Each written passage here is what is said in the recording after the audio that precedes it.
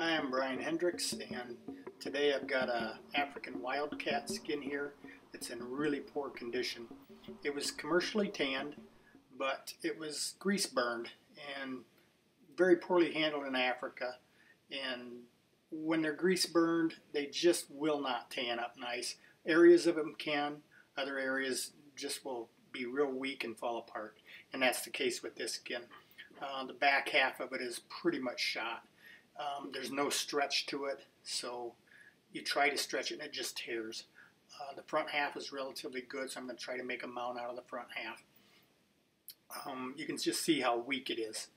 You can sometimes salvage these skins by just kind of wrapping them around the form, but this one here, it would have been way too long and skinny. So, so here I am, I'm gonna, I'm stretching it out after it's been washed. You can see I'm getting some width out of it and then the legs and stuff. So like I say, the front half's pretty good on it and you can see it's a little ragged there at the edges of the back where I cut it off. So I'm going to start doing some repairs. I'm using the latex glove or nitrile glove and uh, super glue gel or Tech Bond glue, the heavier viscosity stuff.